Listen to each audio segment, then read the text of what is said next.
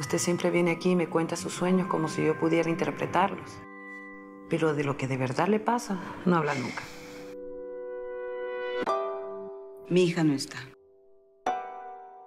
Está desaparecida. Me tocó el cuerpo. Me lamió las lágrimas.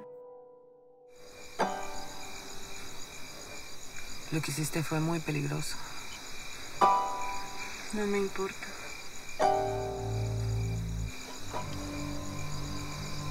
Ya quiero terminar con esto, Alicia.